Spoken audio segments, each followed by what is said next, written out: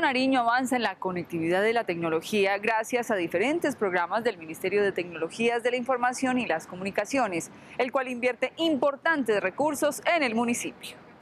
Balance muy positivo, eh, creo que son hechos, eh, entregamos 19 puntos digitales en cuatro corregimientos, eh, una reunión con las mujeres, con los artistas y artesanos. Creo que es un tema muy importante, un gran reto tener equidad en la conectividad en el sector rural.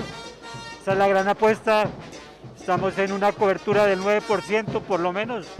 Tenemos que llegar al 50%. La inversión que ha hecho el, ministerio es alta porque son 19 nuevas eh, zonas eh, donde va a haber wifi gratis. El costo exacto sí, los ministerios tendrán que darlo, pero es un costo bastante alto y es el inicio de llegar a una cobertura del 50% en todo el sector rural. Es aprovechar la tecnología para que la gente pueda vender sus, productos y es buena la apuesta del ministerio. Vamos a seguir trabajando de la mano del alcalde porque esta ciudad, y yo lo quiero dejar bien claro, va a quedar en el 70% de conectividad.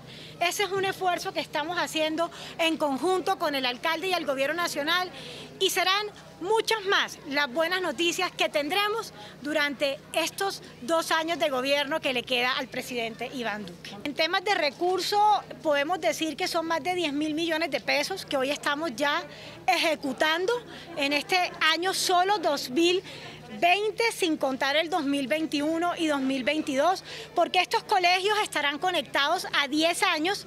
Estas zonas digitales van a traspasan el gobierno del presidente Duque hasta el 2023 y eso quiere decir que nosotros no estamos pensando a corto plazo, sino en una política clara donde la tecnología y la conectividad se vuelvan algo esencial para todos los colombianos. Miren, es que para eso están las zonas digitales que son completamente gratuitas, ahí no tienen eh, necesidad de pagar absolutamente nada y las hemos venido trabajando.